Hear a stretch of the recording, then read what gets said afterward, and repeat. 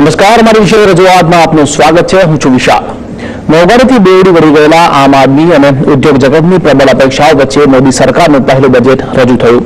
નાણાપ્રધાન અરુણ જેટલીએ બજેટમાં ખાસ કરીને નોકરિયાત લોકોને રાહત આપી છે. તો સાથે જ ગુજરાત મોડેલને હવે દેશમાં લાગુ કરવાની દિશામાં કદમ માંડતા અનેક પગલાઓની પણ જાહેરાત કરાઈ. જોકે સૌથી મહત્વની જે દેશભરમાં ચર્ચા છે, તે અચ્છે દિન ક્યારે આવશે? ક્યારે આવશે અચ્છે દિન અને કેટલા સારા હશે આ અચ્છે દિન આજ અંગે અમારી વિશેષ રજૂઆત છે અચ્છે દિન આएंगे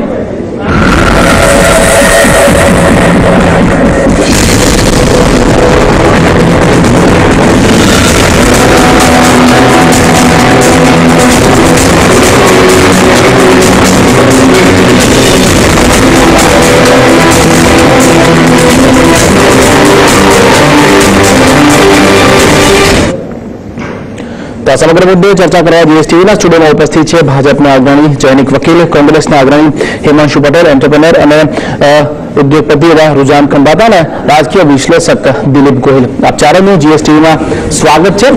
રુઝાન, સૌપ્રથમ તમને પૂછવા માંગીશ.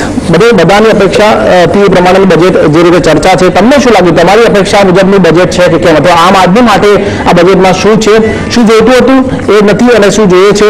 એ પણ નથી. શું કહેશો It's ક્વેશ્ચન છે but to so but to, to just get a start, I would call this a progressive budget.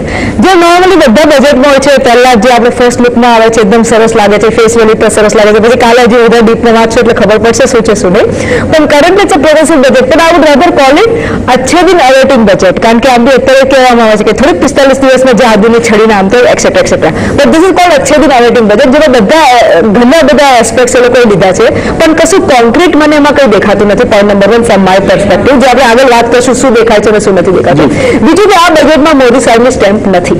એ કઈ રીતે કહું? કારણ કે જે એમને જે ઇલેક્શન સ્પીચીસમાં કહ્યું હતું અને જે મેનિફેસ્ટોમાં કહ્યું હતું ઇલેક્શન સ્પીચીસમાં એમને બધી સરસ સરસ વાતો કરી હતી હું ટેક્સ રિફોર્મ્સ કરીશ. મને કોઈ બી એક બી અંદરથી ટેક્સ રિફોર્મ ના દેખાયો.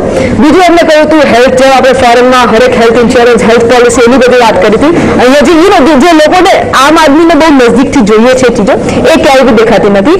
ફૂડ ઇન્ફ્લેશનની વાત કરી હતી કે આવી મોંઘવારી ચાલે મરી જાય માણસ યુ નો એનું કોઈ કંટ્રોલની વાત નથી દેખાતી. એટલે એ કશું નથી દેખાતું. એટલે મને એ કોઈ રેડિકલ થિંકિંગ નથી, કોઈ રિફોર્મ નથી, કોઈ નવું થિંકિંગ નથી, કોઈ out of the box thinking નથી, કોઈ ક્રિએટિવિટી નથી.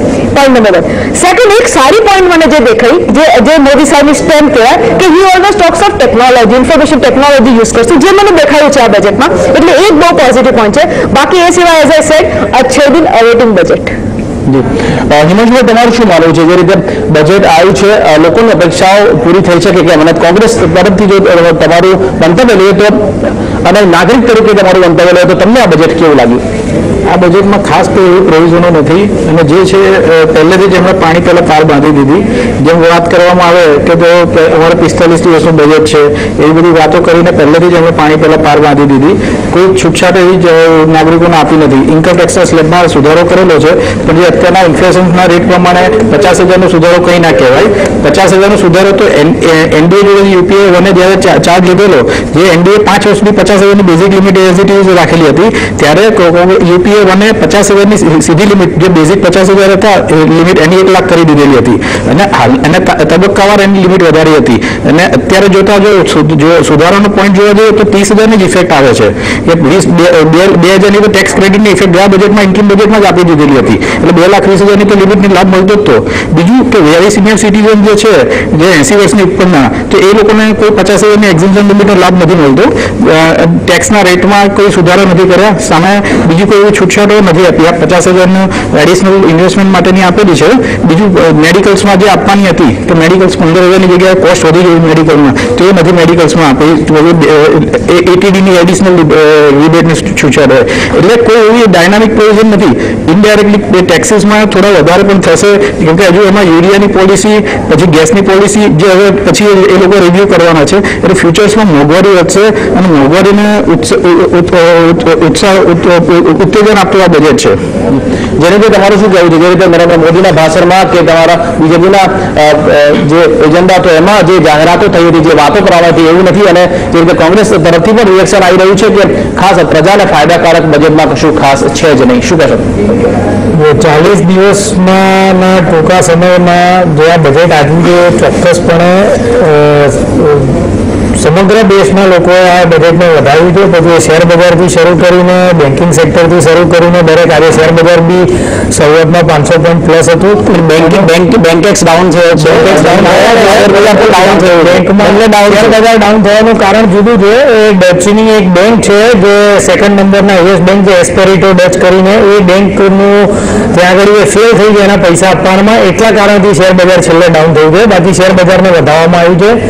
બીજું જે યોજનાઓ જે બહાર પાડવામાં આવી છે જેમાં સમાજના સમગ્ર વર્ગની અંદર સમાવવામાં આવ્યા છે. ખેડૂતોથી શરૂ કરીને યુવાનો ખેડૂતો માટે જે જુદા જુદા પ્રોવિઝન આપવામાં આવ્યા છે જેમ કે પાંચસો કરોડ રૂપિયા માટેનું સ્ટોરેજનું પ્રોવિઝન પછી આઠ લાખ આઠ લાખ આઠ લાખ કરોડ માટેની ફાર્મિંગ ક્રેડિટ આઠ લાખ કરોડની ફાર્મિંગ ક્રેડિટ એ જે બધું આપવામાં આવ્યું છે પ્લસ સ્ત્રીઓ માટે અઠ્ઠાણું હજાર કરોડની ફાળવણી શિક્ષણ માટે અઠ્યાવીસ હજાર કરોડની ફાળવણી અને અને આમ સમાજના બધા વર્ગને આમાં સમાવી લેવામાં આવ્યું છે ને એટલે આ એક બજેટને એવું કહી શકાય અચ્છે દિન હવે દિન નહીં અચ્છે દિન સ્ટાર્ટ થઈ ગયા દિલીપભાઈ તમારું શું માનવું છે? સર્વ સમતોલ બજેટ દાવા જે થઈ રહ્યા છે, શું ખરેખર છે, ખરું? અપેક્ષાઓ પૂરી થઈ છે ખરી? અચ્છે દિન આને વાલે રોજાને કહ્યું, રાહ જો અચ્છે દિન આવશે, અત્યારે નથી, આવશે. હું એમ કહીશ કે આ બજેટમાં જે કઈ વાતો થઈ છે, એ ઇમ્પ્લિમેન્ટ થાય છે કે એની હું રાહ જોઈશ. અને પછી આના વિશે કોમેન્ટ કરી કારણ કે મને એમ લાગે છે કે કોશિયસ એપ્રોચ સાથે આ બજેટ બન્યું એવું લાગે છે. કોશિશ એ થઈ છે કે નેગેટિવ પોઈન્ટ આમાં બહુ ન આવે, બહુ મોટી ટીકા થાય મોટા પાયે, એવું કંઈ ન આવે એવી કોશિશ થઈ છે. એને કારણે તમારે ના છૂટકે થોડાક પોઝિટિવ અને થોડા વખાણ પણ કરવા પડે છે. દાખલા તરીકે એફડીઆઈની વાત કરી પીપીપી મોડલની વાત કરી. લગભગ વીસ વર્ષથી આપણે આ વાતો સાંભળતા આવ્યા છે એફડીઆઈ જોઈએ છે. આવતું નથી. રેલવેમાં પણ એફડીઆઈ જોઈએ છે પણ આવતું નથી. એટલે અ, દિન માટે રાહની વાત કરી રૂજાને હું એમ કહીશ કે જે ઈરાદા સારા વ્યક્ત કર્યા છે એનું ઇમ્પ્લિમેન્ટ ક્યારે થાય છે એની રાહ જોઈએ અને નેક્સ્ટ બજેટ મને લાગે છે કે આઠ મહિનાનો સમય છે. ફૂલ ફ્લેટ બજેટ આવે નેક્સ્ટ ત્યારે આપણે વધારે સચોટ કોમેન્ટ કરી શકીશું.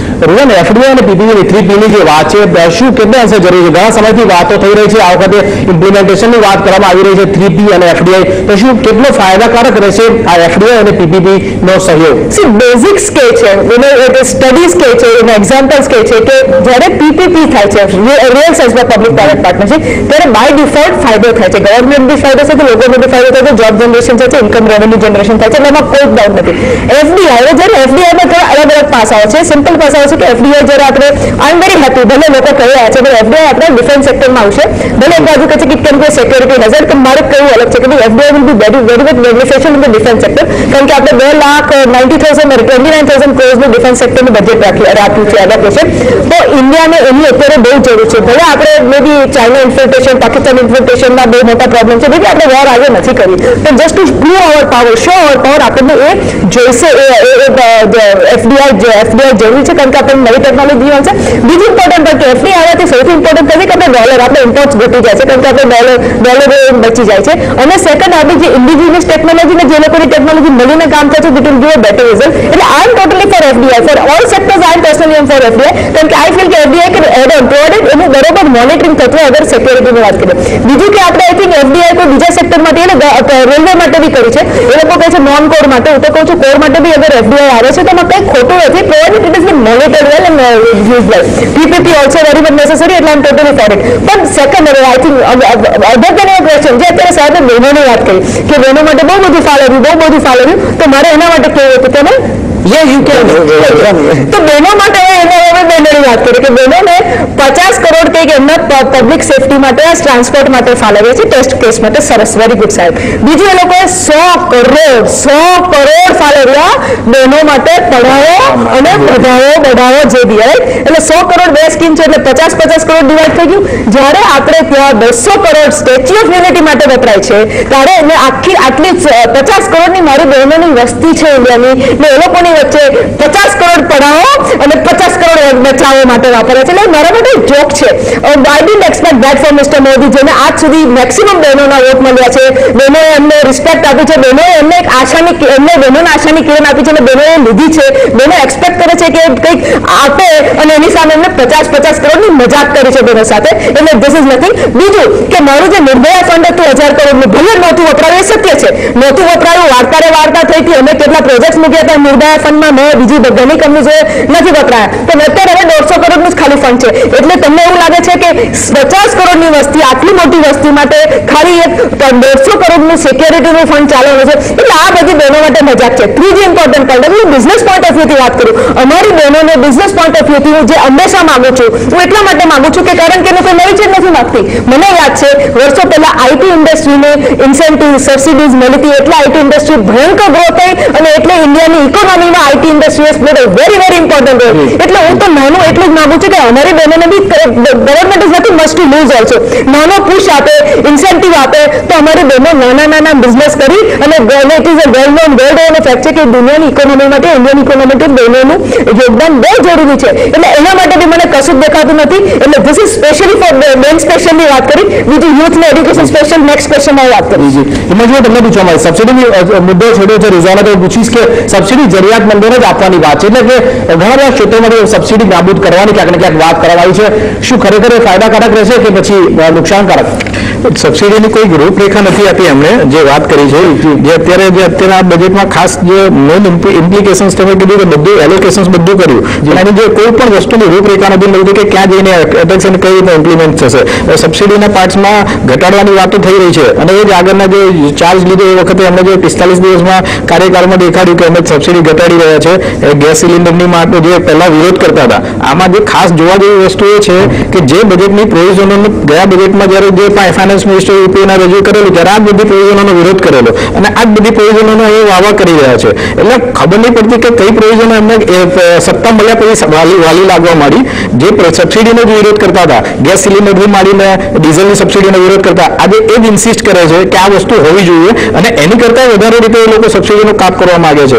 જેથી કરીને જે અત્યારે ફિસ્કલ ડેફિસિટ ફિસ્કલ ડેફિઝિટ એ ઇન્ટરનેશનલ વૈશ્વિક મંદીના કારણે વધેલી. જે બે હજાર નવ દસમાં ટુ પર્સન્ટ ટુ પર્સન્ટ હતી એને સિક્સ પોઈન્ટ ફાઈવ પર્સન્ટ થયેલી અને ક્રમશઃ ઘટતી આવેલી. તો એના માટે ટેક્સ રેવન્યુ વધારવાના કોઈ મેજર્સ નથી. બીજા કોઈ એવન્યુઝ ઊભા કરવાના કોઈ મેજર્સ નથી. પણ એ જે સબસિડી ઘટાડવાના મેજર્સનો ઉપર ભાર મૂક્યો છે પીપીપી મોડેલનો પણ ભાર મૂક્યો છે, પણ એ ઇમ્પ્લિમેન્ટ કઈ રીતના કરવાનું એની કોઈ રૂપરેખા નથી આપી. ટેક્સીસમાં જે ભાવ જે ટેક્સીસમાં જે સુધારા કરવાની વાત હતી, તો ટેક્સીસમાં કોઈ રિફોર્મ્સ એવા નથી લાયા. લેબર રિફોર્મ્સની વાતો કરતા હતા, એ પણ નથી થયું. એટલે કોઈ એક જે વસ્તુ જોવા જોઈએ કે આની અંદર કોઈ કોન્ક્રીટ વસ્તુ હોય કે જેનાથી આવતા પાંચ વર્ષમાં જે પોઝિટિવ એપ્રોચ દેખાતો હોય કે આ વસ્તુમાં હવે રોડમેપ આવશે સોશિયલમાં આવશે એજ્યુકેશન્સમાં આવશે કે આમાં આવશે, જે નથી ઇન્ફ્રાસ્ટ્રક્ચર્સમાં આવશે ટેકનોલોજીમાં આવશે, એ નથી દેખાતું.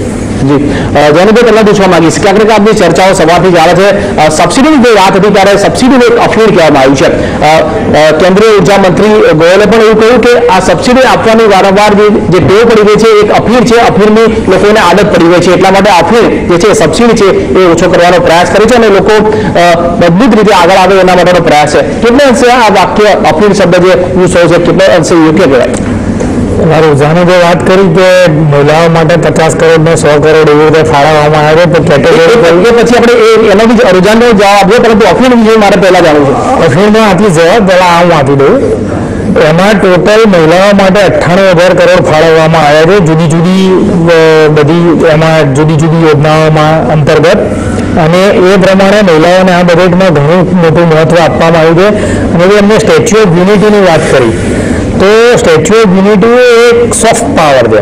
એટલે દરેક વસ્તુને તમે એનાથી શું ફાયદો થાય it can not be always in zero to ten but it can also be A to Z હિમાંશુભાઈએ વાત કરી કે જે કોઈ ઇન્કમ ટેક્સના માળખામાં ફેરફાર નથી કરવામાં આવ્યો તો મારે એમને કહેવું છે કે દસ વર્ષના ગાળામાં Tax reform વાત છે. વચ્ચે ના બોલશો, વચ્ચે ના બોલશો. Tax reform ની વાત વચ્ચે ના બોલશો, છો, તમને.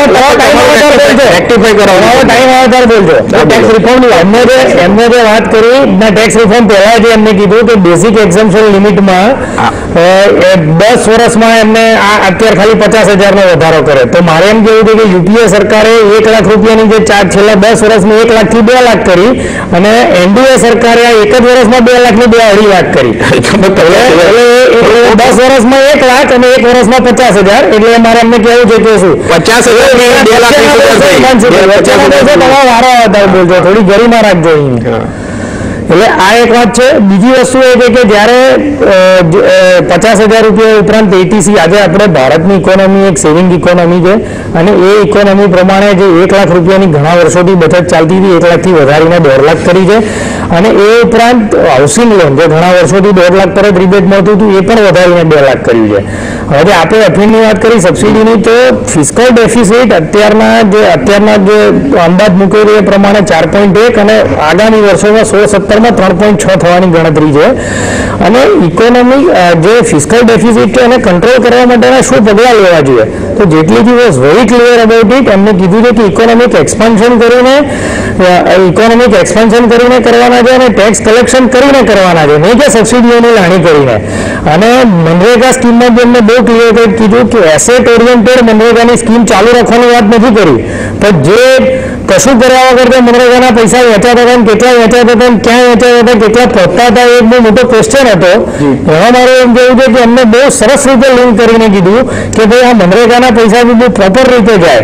એવી વાત કરી કે આ બજેટ એક બધાને અને જે ગુજરાતની જે બહુ પોપ્યુલર સ્કીમો હતી જ્યોતિર્ગામ સ્કીલ ડેવલપમેન્ટ બેટી બચાવો એ સ્કીમો બી આજે વાત કરી કે જેમ ગુજરાતમાં અઢાર હજાર ગામડામાં વીજળી હોય એમ દેશમાં પણ બધે બધા ઘરમાં વીજળી આવશે.